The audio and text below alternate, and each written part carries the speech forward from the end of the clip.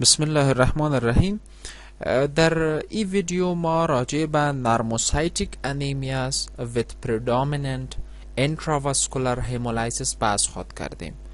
در ویدیو قبلی راجع به normocytic anemia with predominant extravascular hemolysis صحبت کرده بودیم. البته در این تشوش تشوشات که شامل است می‌تونن بعضی وقتها سبب extravascular hemolysis شوه اما بسیار در واقعات نادر.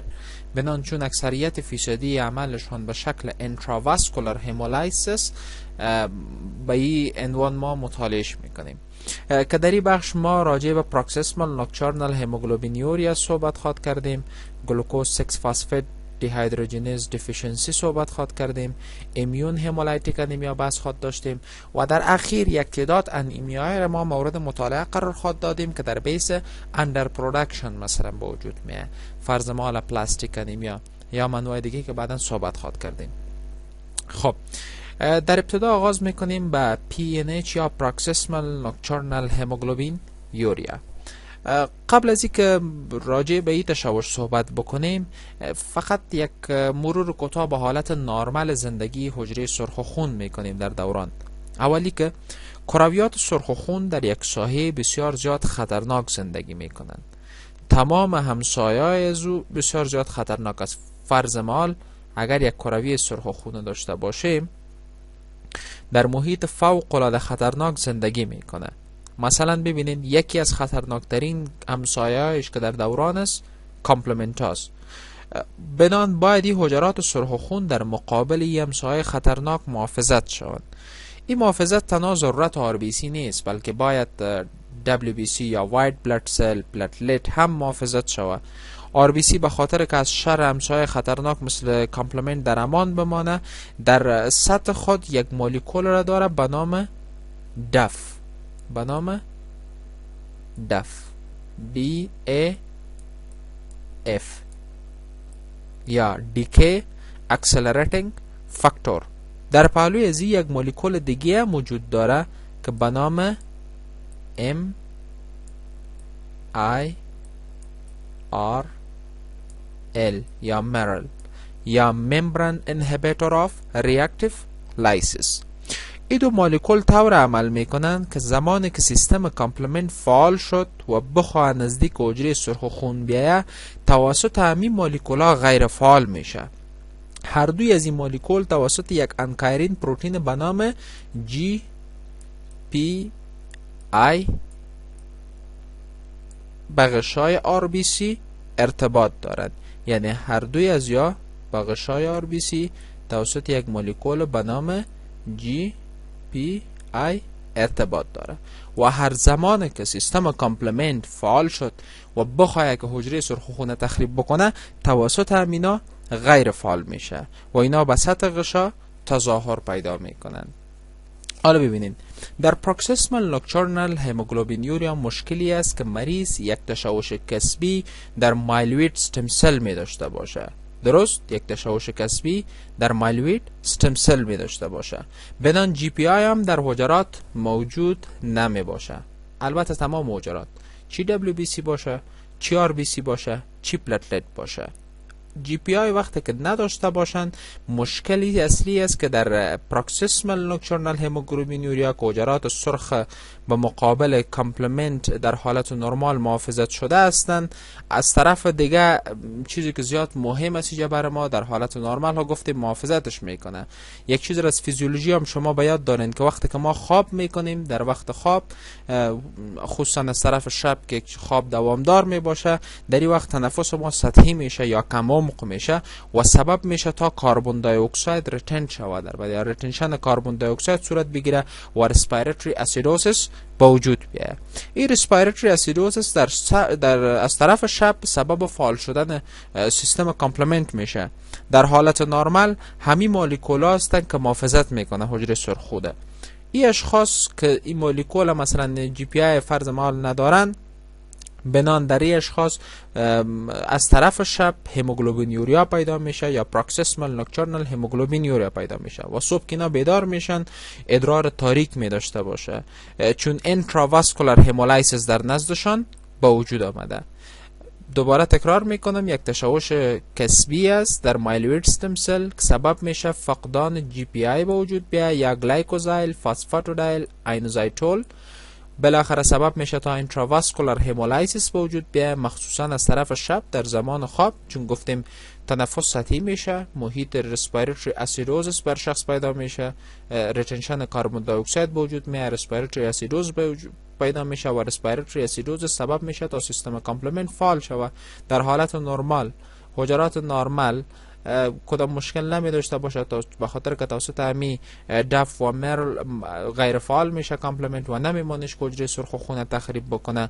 اما در نزد اشخاص چون ای مولکولا وجود چون GPI وجود نداره بناءً این مولکولا رو نمی‌تونه تظاهر بده و سبب میشه تا سیستم complement بسیار به صورت آسان بتانه حجره سرخ خونه تخریب بکنه و intravascular hemolysis به وجود بیاره.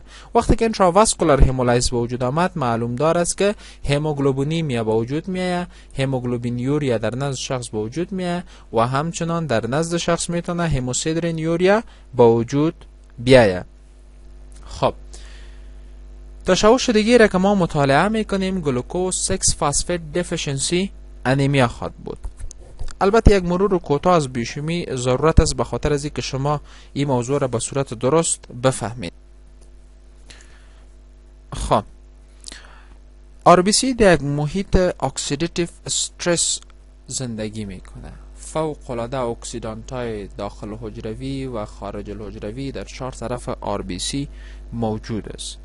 به خاطر از اینکه از این oxidative stress نگهداری شوه اینا یک مولکول بسیار خاص و مخصوص را به نام glutathione استفاده می‌کنه. مثلا فرض محال شما ببینید اگر یکی از مثال های بسیار زیاد عام و اساسی از این یا هم از این که سبب oxidative stress میشه یادآور شویم در حقیقت H2O2 خواد بود. وقتی که H2O2 در حالت نرمال تخریب نشه تجزیه نشه و oxidize نشه سبب میشه توسط glutathione خودش خود به خاطر از این مولکول oxidize نکنه سبب میشه تا کرویه سرخ خونه تخریب بکنه یا از بین ببره. بناءً H2O2 توسط glutathione گرفته میشه درست؟ توسط glutathione گرفته میشه و glutathione oxidize میشه در اینجا. یعنی GS SG را به وجود میاره. و به خاطر از که در آینده دوباره حجره سرخ خونه بتانه محافظت بکنه دوباره باید تبدیل شوه به glutathione. شکل oxidize شدهش دوباره باید به glutathione تبدیل شوه. به خاطر از این به یک مولکول ضرورت داره به نام NA D P H. NADPH و ENADPH توسط گلوکوز 6 فاسفیت دیهایدروژنیز تولید میشه یا یکی از پرودکت های بسیار اساسی گلوکوز 6 فاسفیت دیهایدروژنیز است دوباره یاد می‌کنم یکی از اساسی ترین علت های oxidative stress یا oxidant ها H2O2 توسط glutathione گرفته میشه و سبب میشه glutathione oxidize شوه. به خاطر که دوباره شکل oxidize شدهش به glutathione تبدیل شوه تا در آینده هم محافظت بکنه کرویه سرخ خونه تا به یک مولکول به نام NADPH ضرورت داره. و ای NADPH یکی از byproduct های بسیار زیاد اساسی glucose 6 phosphate dehydrogenase است. پس اگر glucose 6 phosphate dehydrogenase نباشه معلوم دار است که دوباره تبدیل شدن از این صورت نمی‌گیره و دوباره نمی‌تونه محافظت بکنه کرویه سرخ خونه. تخریبات اکسیدیتیو به وجود میه و این تشوش یک X linked recessive disorder می باشه خب کرویات سرخ خون و غشای حجروی گفتیم توسط oxidant های داخل المنشأ و خارج المنشأ تهدید میشه. glucose 6 phosphate deficiency dehydrogenase deficiency یک تشوش X linked recessive است سبب میشه تا نصف طول عمر glucose 6 phosphate dehydrogenase کاهش بیابه و حجرات سرخ خون به مقابل oxidative stress بیشتر معروض شوند. حالا ببینین ما اصلا دو variant داریم به خاطر glucose 6 phosphate dehydrogenase deficiency. یکی را باز ما میگیم African variant دیگر میگیم Mediterranean variant. African variant که از mild یا خفیف به صورت خفیف half life G6PD را reduce می‌کنه و در مدیترانین در حقیقت مارکلی reduce می‌کنن half life G6PD را و بالاخره سبب میشه اینا تمامشان سبب میشه تا هموگلوبین به شکل هنزبادی ترسب بتن یا متراکم بکنن. درست؟ حالا شما ببینین. عوامل مختلف وجود داره که می‌تونه oxidative stress را به وجود بیاره. مثلا انتانات می‌تونه سبب به وجود آوردن یک محیط oxidative stress شود. یا بعضی دوا فرض محال sulfa drugs primaquine dapsone اینا می‌تونن که سبب شود تا در یک محیط oxidative stress به وجود بیاره. یا fava beans قابلیت از داره. که oxidative stress به وجود بیاره. خود Heinz body توسط ماکروفاژهای طحال باز از بین میره. قبلا هم براتون گفتم. oxidative stress در نزد اشخاص سبب میشه تا هموگلوبین به شکل Heinz body ترسب بکنه.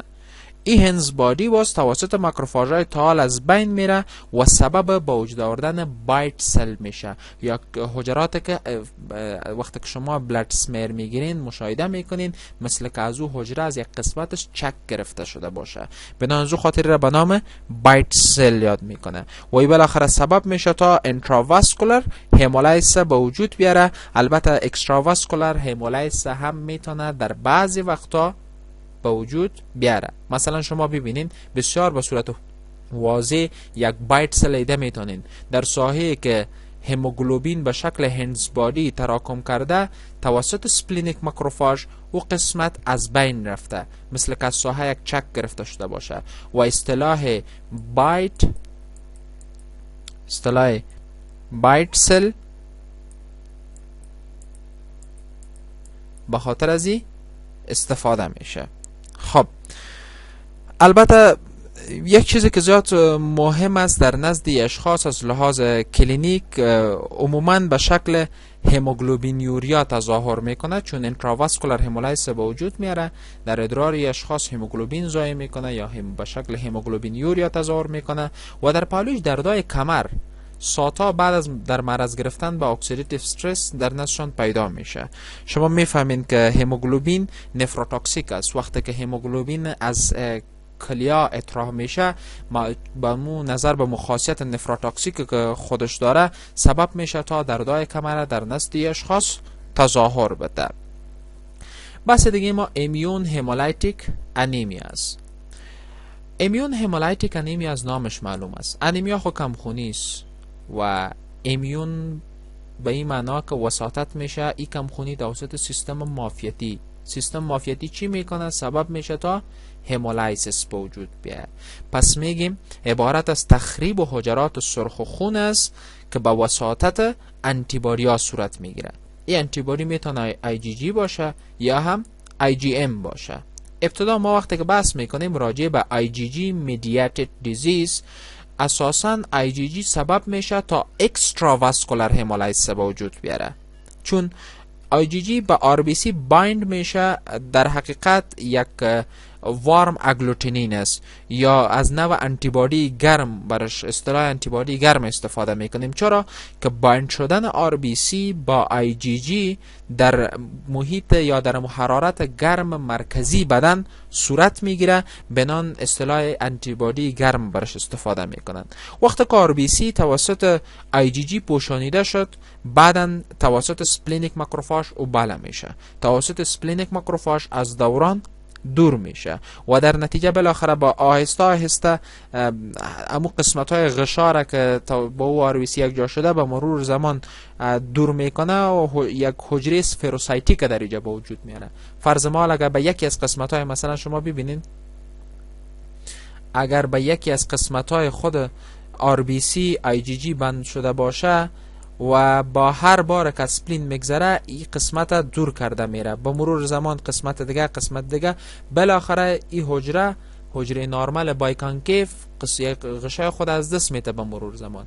و تبدیل میشه به یک حجره کروی شکل یا ای هم می‌تونه سبب spherocyte ها با وجود آوردن spherocyte شود. اساسا با systemic lupus erythematosus یک جا می باشه. شما می‌فهمید که در systemic lupus erythematosus که یک مرض autoimmune است انتیبادی به خلاف آر بی سی دبلیو بی سی و پلتلت هم با وجود میه. همچنان chronic lymphocytic leukemia که یکی از اختلالات اساسی chronic lymphocytic leukemia autoimmune hemolytic anemia است که باز در بحث مربوطهش مطالعه خواد کردیم و در بعض دوا مثلا پنسیلین یا cephalosporin هم می‌تونه سبب شود تا immune hemolytic anemia را با وجود بیاره. البته چندین راه است که می‌تونه دوا ای آفته با وجود بیاره. در حالت اول دوا با غشای RBC وصل میشه. مثلا پنسیلین وقتی که با غشای RBC وصل شد انتیبادی با ای drug membrane complex که به وجود آمده دوا با غشای RBC انتیبادی همراه از یا یک جا میشه. و بالاخره وقتی که bind شد اجازه میته تا توسط spleen باز از بین ببره. راه دیگه ای است که بعضی دوا می‌تونن بعضی وقتا خودشان سبب تولید ها شوند یعنی auto ها را می‌تونه تظاهر بتن. مثلا methyldopa در نزد بعضی از اشخاص می‌تونه به می شکل عمل بکنه. تداویش هم معلوم دار است اگر بر اساس دوا باشه دوا را قطع می‌کنیم. دوم steroid توصیه می‌کنیم. IV immunoglobulin بر اشخاص توصیه می‌کنیم. چون وقتی که بر شخص ما immunoglobulin IV توصیه می‌کنیم توسط spleen ای IV ای immunoglobulin ها گرفته میشه و آر immunoglobulin ی که در سطح سی سوره باز بلع نمی‌کنه. و یک چیز دیگه که بسیار جات مهم است در صورت ضرورت ما بر شخص splenectomy می‌کنیم. splenectomy چرا می‌کنیم؟ اول source انتیبادی را از بین می‌بریم. شما می‌فهمید که ابتدایی ترین source انتیبادی هم spleen است. بنان ما source انتیبادی را از بین می‌بریم.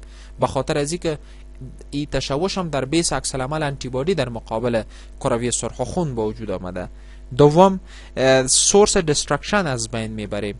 چون می‌فهمین که خود spleen وقت انتیبادی با حجره سرخ خون یا با غشای حجره سرخ خون یک جا شد توسط spleen از بین میره. بنان تداویش می است که ما باید یکی source انتیبادی را از بین بریم یکی source خود spleen از بین ببریم. ببخشین source destruction ش از بین ببریم. بنان در نزد اینا یکی از راه های تداوی اساسی splenectomy خواد بود انشاءالله. خب. دوم IgM mediated diseases یا آفت یعنی hemolytic anemia که توسط IgM به وجود بیاد یا با وساطت IgM به وجود بیاد. این سبب میشه که intravascular hemolysis به وجود بیاره. خب با آر بی سی آی جی ام یک جا میشه و سبب fix کردن complement ها میشه چون معمولا در هوای سرد نهایات واقع میشه. اصطلاح انتیبادی سرد یا cold agglutinin معمولا برش استفاده می‌کنن. اساسا با مایکوپلازما نمونیا هم می باشه و همچنان با انفکشوس مونونکلوزس در اکثریت اوقات توأم می باشه. یک تعداد از کمخونی های دیگه ما مطالعه خواد کردیم تحت عنوان انیمیایی که در بیس اندر پرودکشن به وجود میاد یا سبب به علت کمبود تولید حجرات سرخ خون به وجود میاد که هم می‌تونه سبب کمخونی شود ابتدا مطالعه می‌کنیم راجع به aplastic anemia. خب aplastic anemia در حالت تخریب در hematopoietic stem cell صورت می‌گیره. یعنی مشکل اساسی یا تشوش اساسی در hematopoietic stem cell خواهد بود. در نتیجه وقتی که تشوش در hematopoietic stem به وجود بیه سبب میشه تا pancytopenia به وجود بیه. یعنی هم RBC سویش پایین بیه هم WBC سویش پایین می باشه و هم platelet ها سویش پایین می باشه یعنی سویه پایین reticulocyte count هم ما می‌تونیم در نزد اشخاص پیدا بکنیم. عوامل مختلف می‌تونه این مشکل به وجود بیاره. مثلا بعضی دواها می‌تونه بسیار به صورت آسانی مشکل به وجود بیاره. خصوصا دوایی که در تداوی آفات سرطانی استفاده میشه. انتانات ویروسی می‌تونه این مشکل به وجود بیاره. در viral infections مثلا اشخاص که hepatitis A دارن B دارن C دارن. معمولا در اینا خطر از این موجود می باشه که مصابشان به aplastic anemia و همچنان در base بعضی از تشوشات یا تخریبات autoimmune هم می‌تونه این مشکل در نزد شخص با وجود بیاره. البته اگر شما از بایپسی بگیرین در مغز استخوان می‌تونین که یک مغز استخوان خالی و پر از پر از شهم مشاهده بکنین. هیچ حجراتی که به خاطر ساخت کرویات سرخ خون کرویات سفید خون و یا هم پلتلیتا ضرورت باشه ما نمی‌تونیم نزد اینا پیدا بکنیم. بسیار کم ستم سل موجود می باشه اما به او اندازه که بتانه کفایت بکنه به خاطر از اینکه حجرات سرخ خون خصوصا تولید بکنه. یعنی مواد خونساز در نسل اینا موجود نمی باشه. بحث از تداوی از اینا وقتی که ما می‌کنیم اول عامل که یا خصوصا اگر دوا شخص می‌گیره عامل که پلاستیک انیمیا رو به وجود آورده او را می‌کنیم بود دوا دوم در نزد اشخاص blood transfusion انجام میدیم نقل الدم نزدشان صورت می‌گیره. سوم فاکتورهای تنبیه کننده مغز استخوانه. مثلا erythropoietin erythropoietin بر شخص توصیه می‌کنیم تا از امو stem cell کمه که در موجود از در مغز استخوان مقدار زیاد حجرات تولید بکنه. حجرات سرخ خون البته. erythropoietin به خاطر حجرات سرخ خون تولید میشه. GM-CSF و G-CSF به خاطر از اینکه بالای granulocytic precursor تاثیر بکنه و granulocyte ها را تولید بکنه ما بر شخص توصیه می‌کنیم. یک چیزی که باید داشته باشین بعضی وقتها ما ضرورت به پیدا می‌کنیم که immune suppression در نزد اشخاص وجود بیاریم. به این معنا که سیستم معافیتی از یارا suppress بکنیم چون گفتیم که در بعضی حالت ممکن علتش باشه آفات autoimmune بناءً ما با ضرورت داریم تا سیستم معافیتی را در اینا suppress بکنیم. آخرین مرحله تداوی ما باز خواد بود در نزد اشخاص bone marrow transplant آخرین مرحله transplant مغز استخوان خواهد بود. خب. بحث دیگه ما myelophthisic processes. البته این اصطلاح را زمان استفاده می‌کنیم یا myelophthisic anemia زمان به وجود میایه که یک پروسه پاتولوژیک مغز استخوان جاگزین بکنه. به این معنا فرض مثال شما فکر بکنین یک شخص است آفت سرطانی داره در ریههایش داره یا مثلا breast CA داره یا prostatic CA داره یا lung CA داره آفت سرطانی داره و به صورت metastatic این کتلات سرطانی به مغز استخوان metastasis بکنه و جای حجرات نرمال که حجرات خونه می‌سازه او را بگیره. بناءً وقتی که معاوضه بکنه سبب میشه و پروسه hematopoiesis متوقف شوه و در اشخاص هم pancytopenia به وجود میاد یعنی هم RBC سویش پایین میاد هم WBC سویش پایین میاد و هم platelet سویش پایین میاد مثالش هم قبلا براتون گفتم مثلا یک شخص که metastatic کارسینوما داشته باشه.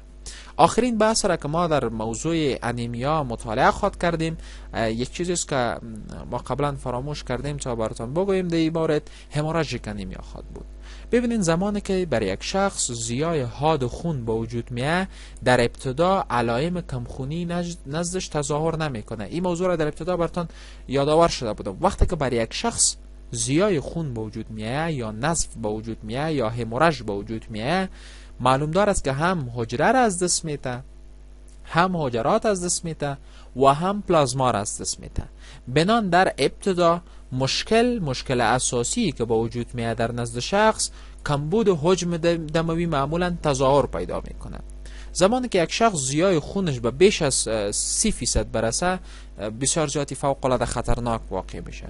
چون اعراض علائم خطرناک هایپوولمیک شاک در نزد اشخاص ممکن با وجود بیاید. اساسا مثل قبلا برتان یادآور شدم بعد از خونریزی های هات اعراض علائم کمخونی دفعتا تظاهر نمیشه. بنان تعیین مقدار هموگلوبین. بعد از او یک فیصله یا یک نتیجه عاقلانه نخواد. بود که ما مستقیم هموگلوبین بخوایم پیدا بکنیم در نزد اشخاص. چون در این وقت غلظت حجرات سرخ خون تغییر نکرده به خاطر از اینکه پلازما را هم از دست دادن. وقتی که تولید RBC توسط erythropoietin ا معمولا آزاد شد و بالاخره RBC دوباره در نزد شخص زیاد شد بناءً در وقت می‌تونین بسیار به صورت آسانی شما تفاوت ببینین. البته یک چیزی که زیاد مهم است وقتی که برای یک شخص خونریزی پیدا میشه در ابتدا در ظرف دو تا سه روز پلازمای از این شخص دوباره به اندازه نرمال می‌رسه. درست؟ اما حجرات یک مدت زمان ضرورت دارند. یعنی بعضی وقتها 6 تا 8 هفته ضرورت است که کرویات سرخ خون تحت تاثیر اریتروپویتین دوباره به اندازه نرمال برسه. اما پلازما دو تا سه روز ضرورت داره. بنان در ابتدا شخص هم حجره ضایع کرده بود هم مایع ضایع کرده بود. هم قسمت پلازما را هم قسمت سل ضایع کرده بود. در در روز اول فرض مثال تشخیص درست صورت نمی‌گیره اما هموگلوبین ما بر شخص توصیه بکنیم. حالا وقتی که پلازما زیاد شد کرویات کم میشه معلوم دار است که تفاوت در بین اینا بسیار خوب به اندازه کافی می‌تونیم وقت باز تشخیص بدیم. با خاطر از اینکه پلازما در دو تا سه روز زیاد میشه دوباره به حد نرمال می‌رسه. اما کرویات 6 تا 8 هفته ضرورت داره تا تحت تاثیر erythropoietin به حالت نرمال بر بگرده البته در ماینه خون از این مریضا ما می‌تونیم یک کمخونی نارموسایتیک و نارموکرومیکا ببینیم. چون کدام تشابه شدگی وجود نداره وجرات همو اندازه نرمال خود داره رنگ نرمال خود داره صرف زایه شده. کمخونی مزمن هم ممکن به وجود بیاید در بیس هموراژ مثلا کسایی که قرای مزمن میده دارند یا در بیس منوراژیا یا در بیس پارپارا می‌تونه مشکل مشکل به وجود بیاید با این ویدیو بحث انیمیا یا فصل کمخونی یا انیمیا در اینجا به اتمام می‌رسه. انشالله در ویدیوهای بعدی راجع به تشوشات کرویات سفید خون یا وایت بلد سل بحث خود داشتیم.